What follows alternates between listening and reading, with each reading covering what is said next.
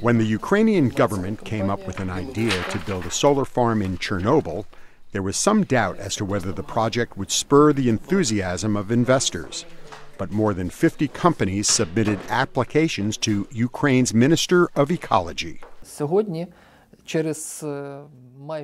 Today, almost a year after we have started the work, I can announce the first private investment project working in the Chernobyl zone to build a small solar energy plant.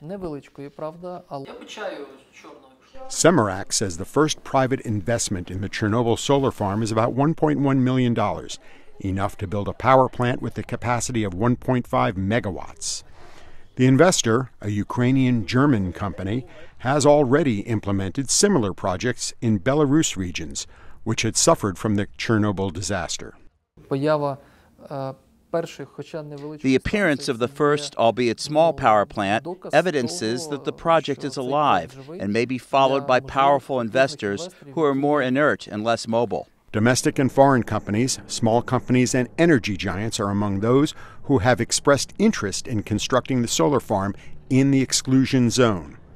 When it is built out, the solar park is expected to produce half the power that was produced by Chernobyl's nuclear plant after it went online 40 years ago. We have received over 50 applications from companies of various sizes. Cumulatively, those would be enough to produce 2.5 gigawatts of power, which would be 2,500 megawatts. This is comparable to the output by two units of a nuclear power plant. This is about half the capacity which the Chernobyl power plant had before the disaster. Semerak says the Chernobyl zone has attracted investors because of its vast land resources and economic incentives. The government recently lowered the cost of rent and streamlined renting procedures. Another powerful driver for investors is the availability of infrastructure, the power grids, which service the Chernobyl power plant prior to the nuclear disaster. In reality, for the last 30 years, the Chernobyl zone has been a black hole for finance of Ukrainian budget and international donors. A lot of money had to be spent to eliminate the consequences of the disaster.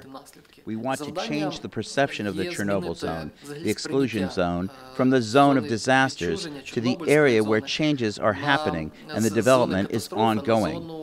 We want to gradually put this area to use. Construction on the first solar farm should be completed in May of this year.